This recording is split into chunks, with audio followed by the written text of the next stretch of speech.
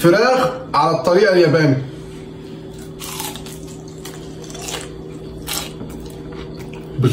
الأكلة دي أنا كنت جربتها مع ناس يابانيين اصحابي اسمها كراجي fried chicken. أكلة جميلة جدا بتتعمل من ال thigh بس من الحتة اللي هي الفخذ. مش من الورك من تحت. فبنجيبها ونقطعها مكعبات. وطبعا بحب أجيب ال thigh من غير الجلد. أما لو أنت بتحبها بالجلد فده يرجع لك يعني هيبقى مقرمش أكتر كمان. بعدين بعد ما أخلص تقطيع زي ما إحنا شايفين كده متقطعين مكعبات أو أي shape أنت عاوزه. المهم بس تخليها ما تكونش رفيعة قوي وما تكونش رقيقه في نفس الوقت. الوصفة بتاعة الأكلة دي بتبقى محتاجة توم وجنزبيل أو زنجبيل أو ginger أي اسم. لو في جنزبيل حي أو أخضر يبقى الكلام حلو جدا. المهم بناخد الكلام ده كله تحت المفرمة كده ونفرمه ناعم بالسكينة ونقعد نقطع فيه رايح جاي رايح جاي رايح جاي رايح جاي لحد ما يبقى ناعم خالص خالص خالص خالص خالص. نقوم شايلينه على جنب ونجيب الطبق اللي إحنا هنعمل فيه mix بتاع التتبيلة. هننزل الأول قطع الفراخ أو حتة اللحمة اللي إحنا مقطعينها مكعبات أو حسب ما إحنا نقدر نقطعها.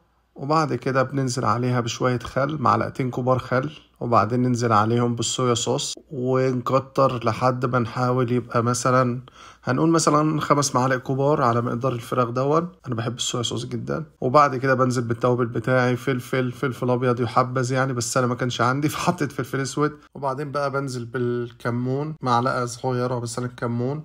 هو أنا عندي مشكلة إن أنا ما بعايرش الحاجات بالمعلقة أنا بعاير بالمقدار كده وبعدين بنزل بفلفل حلو وبعدين بنزل ببابريكا المفروض بابريكا مدخنة. فأنا من الناس اللي هم بيعايروا بإيديهم كده اللي هو شوية ملح في إيدي ومش عارف. وبعدين بنزل بالثوم والجنزبيل أو ال ginger اللي أنا فرمه بعد كده بعمل mix بقى بإيديا بسرعة كده.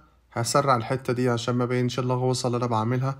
وما يجيش واحد يقول لي أنت بتقلب بيه. غسل إيدي والله العظيم قبل ما أبدأ. كلها تت... على ما الحاجات دي كلها تتخلط مع بعضيها كده أحب أفكرك إنك تدي لنفسك عشر دقايق كل يوم تركز فيهم على نفسك على أعصابك على راحة أعصابك زي مديتيشن كده. خد لي بالك أنت ذوق المهم بشيل الفراخ وأحطها في الكيسة بتاعة الحفظ دي. بحاول أخرج الهواء على قد ما أقدر علشان هسيبهم في الكيسة دي تقريبا ساعة أو ساعتين. عشان تشرب بقى من كل تتبيلة بقى الصويا صوص والثوم والجنزبيل والفلفل الأبيض والفلفل الأسود والبابريكا والفلفل الحلو وكل الدنيا دي كلها يا معلم. شايف الشكل الجمالي؟ إيه العسل ده؟ الله! في الحركة اللي جاية دي الله! شفت ال magic؟ طبق بيلف إزاي؟ شوية دقيق حاططهم في قلب طبق أحمر بلاستيك وبعدين بوريك بقى إن الدقيق ناعم وكده. ده المثال اللي هو بتاع الناس المساكين. بوريك بقى إن أنت ممكن تروح تشتري حاجة جاهزة زي الكلام اللي قدامنا دوت مش عارف crunchy Japanese مش عارف إيه كده. وممكن تعمل الطريقة بتاعت المساكين أو الناس الغلابة اللي زي حالتنا إنك تحط كوباية مية تاخد منها شوية صغيرين يعني معلقة كبيرة على مقدار الدقيق وتقلبه وتفركه كده. لحد ما الدقيق يمسك في بعضه يبقى عامل زي الفوكسومات كده أو يبقى في حتت ماسكة في بعضها المهم ننزل الفراخ اللي إحنا متبلينها.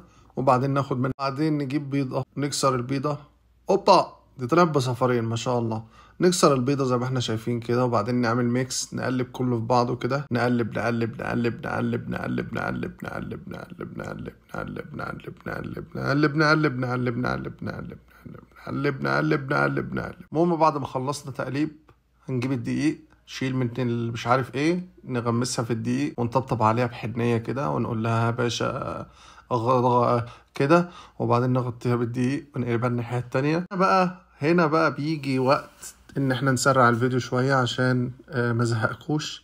وانتهز هذه الفرصة. أقول لكم ما تنسوش تشتركوا في القناة ولو عاوزين أي أكلات ياباني أو أي أكلات قولوا لي وأنا أوريكم مهارتي في الطبخ والكلام العك دوت. ونشوف الزيت جاهز ولا لأ. حاجة بتبين إذا كنت أنت شايف محترف ولا لأ إن أنت ترمي شوية مية في الزيت كده وتحرق المطبخ. بس إحنا مش هنعمل كده إحنا هنحط حتة بتاع كده في الأول. لو اشتغلت وطلعت بلق نقوم جايين حاطين بقية الفراخ. زي ما إحنا شايفين كده رصيت بقية الفراخ وطلعتهم نص سوا علشان هرجع أحمرهم تاني.